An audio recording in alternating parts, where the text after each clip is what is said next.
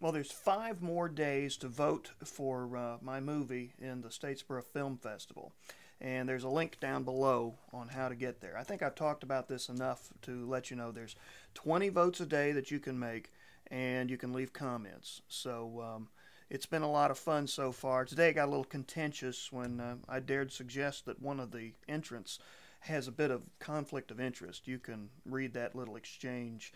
It's in the third movie, I think from the top.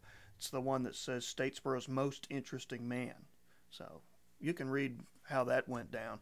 Uh, personally, I do see a bit of a conflict of interest when the person who entered the movie is directly connected with the uh, with the festival itself. That's just me. Anyway, oh, and the copyright violation thing was kind of a big one too. Anyway, like I said, when we get done with the um, the film festival thing in a few days, um, I'm going to start looking at some lenses that I've bought for the T2i.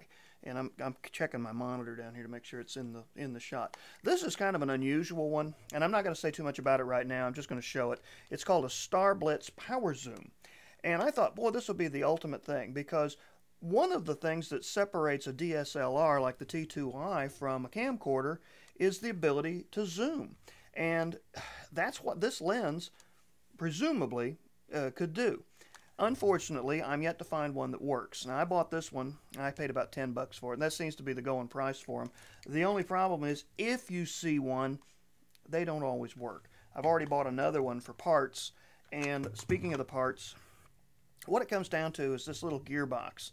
And I've put this one together out of some of the parts that you'll see down here that I've scavenged out of the two units. Nah, it still doesn't work. I, it's because the stuff is such cheap plastic. I think if I ever get one of these that works, and I'm really about to give this project up because it's, uh, I don't think I'm going to find one that works. I think it's a neat idea, but uh, it isn't that big of a deal. Frankly, I never used the zoom anyway, so I don't even know what, what got me started on that. But uh, I saw it advertised and thought, boy, that would be kind of cool. A powered zoom, just like a cam.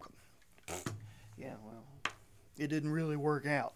So anyway, I appreciate all the comments so far on our entry into the Statesboro Film Festival. Um, I certainly appreciate the votes, and uh, let's keep it up. We've got five days to go.